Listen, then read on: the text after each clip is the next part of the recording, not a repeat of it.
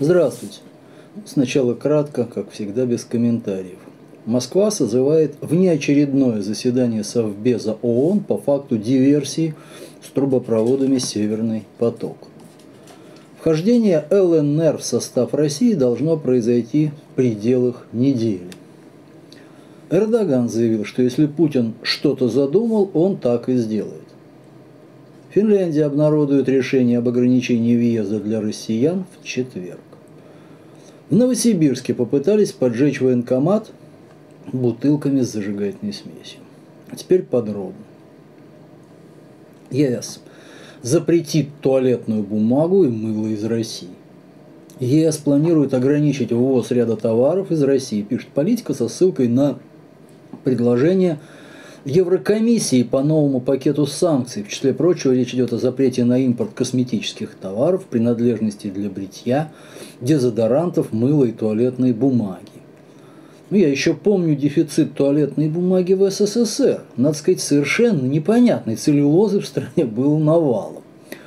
Теперь вот выясняется, насколько навалом мы ее даже экспортируем. Не говоря уж о том, что в Ашане на соответствующей полке просто прорва этой вкусной бумажки, несмотря на уход э, некоторых фирм с нашего рынка. Теперь, наверное, уж и не вернуться. Своего добра такого завались. Ну, насчет э, мыла вообще не понял. Этого добра везде много. Покупать импортное не необходимость, а исключительно дело вкуса – ни на обороноспособность, ни на экономику запрет экспорта мыла повлиять вообще не может. Ну, разве что наше содержит больше натуральных ингредиентов и меньше ненатуральных. И кого наказывает ЕС? Ну, а принадлежности для бритья, ну, разве что женщины перестанут брить ноги, за счет чего немного снизится рождаемость. Я вообще не понимаю, что происходит. В мире реальная трагедия. Тысячи молодых людей умирают и становятся калеками. А Евросоюз беспокоит, достаточно ли хорошо они были выбриты перед смертью, была у них достаточно чистая задница. У людей в высших эшелонах власти по обе стороны фронта нарушены какие-то причинно-следственные связи. Война продолжается по очень простой причине не достигнуты цели, которые перед собой ставят стороны. То есть либо надо этих целей поскорее достичь, либо устранить их, сделав дальнейший процесс бессмысленным. Ну и при чем тут мыло и туалетная бумага? Взорвать газопроводы могли ВМС США. Информационно Агентство Регнум пишет, что американские военные вертолеты за сентябрь совершили несколько вылетов в районы, где была совершена диверсия на газопроводе «Северный поток». Информация об этом появилась на авиамониторинговых ресурсах вчера, 28 сентября. Сайты э, Flight Radar 24 и ADSB NL, это нидерландская, показали, что вертолеты американских ВМС «Сикорский» – совершали полеты в этом районе в начале и середине месяца. Помимо этого, в районе острова Барнхольм, где и произошло ЧП с газопроводом, в июне этого года проходили военно-морские учения Североатлантического альянса, в ходе которых были опробованы американские подводные беспилотники. Об этом сообщало официальное издание Лиги ВМС США Sea. Ну, если это так, и США действительно подорвали газопроводы, о которых президент США Байден не так давно высказывался очень негативно, никто даже не будет удивлен. США хозяева планеты и ведут себя соответствующе, не стесняются. Не только с Россией и прочими аутсайдерами мировой политики, но и с Европой. А что сделаешь с державой, у которой 11 ударных авианосных групп, больше, чем у всех остальных стран вместе взятых. Володин запретил состоящим на воинском учете выезжать за границу и вообще. По словам председателя Госдумы, касаемо выезда граждан, состоящих на воинском учете за пределы страны, есть статья закона. Цитата.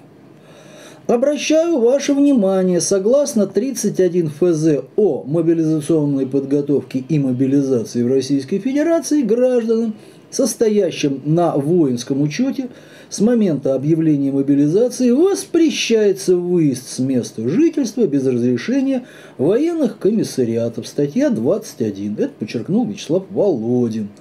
А дальше цитата. Такая норма закона есть, и ей должны руководствоваться все военно обязанные, добавил председатель Госдумы. То есть даже шире, не то что за границу, а даже по грибы в соседнюю область нельзя. Насчет поездки в Ашан в Химки за продуктами, как я понимаю, мне тоже нужно запрашивать военкомат в Тушино. Про дачу даже не говорю. В России стараются побыстрее сбыть доллары и прочие валюты недружественных стран. Это необычное в российской истории явление, особенно учитывая резкое укрепление доллара на глобальном валютном рынке, падение цен на нефть, обострение геополитического конфликта с Западом. То есть, казалось бы, доллар становится все более выгодным как вложение, а от него избавляются по дешевке. Очередная Волна укрепления рубля началась 21 сентября, после того, как власти ДНР, ЛНР, Херсонской и Запорожской областей решили провести референдумы о присоединении к России, а российский президент объявил о частичной мобилизации.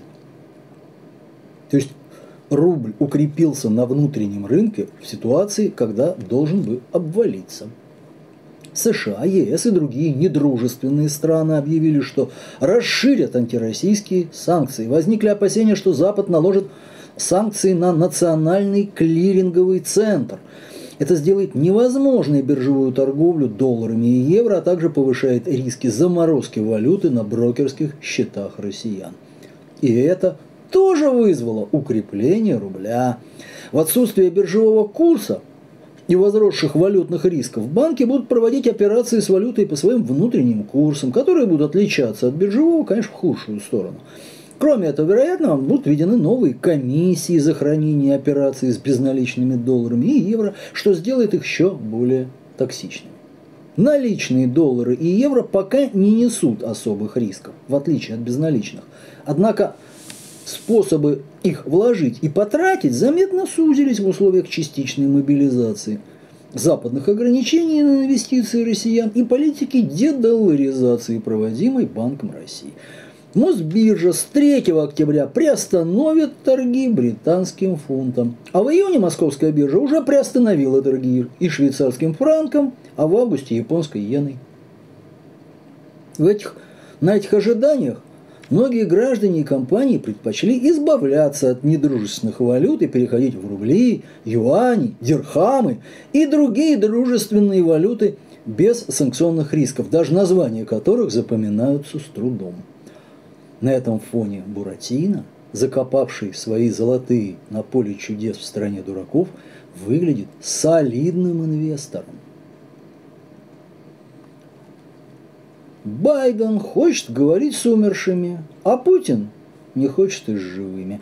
Байден во время конференции в Вашингтоне обратился к конгрессвумен Джеки Валорски, забыв о том, что она погибла в автокатастрофе в августе. Одна из журналисток спросила представителя Белого дома, почему Байден разговаривает с умершими людьми. Эти моменты замешательства случаются все чаще. Американцы наблюдают за этим и беспокоятся, добавила журналистка. Белому дому пришлось оправдываться за Байдена, искавшего на одном из мероприятий члена палаты представителей Джеки Валорски, которая, повторю, погибла в августе. Байден просто думал о покойной, поэтому упомянул ее имя, объяснили поведение президента в Белом доме. На скептические замечания журналистов о том, что Байден будто удивлен отсутствием законодателя, в Белом доме лишь отметили, что думать о ней в таких обстоятельствах вполне естественно. В общем, клиника, конечно. Но представить себе что-то подобное на пресс-конференции Путина, на которую сгоняют журналистов тысячами, положительно невозможно. Складывается впечатление, что Путин заранее знает ответы на все каверзные вопросы. Как это делается, я прекрасно знаю. Слишком часто сам работал пресс-секретарем первых лиц. Другое дело, что я бы никогда не согласился работать пресс-секретарем политика, не способного самостоятельно связать двух слов.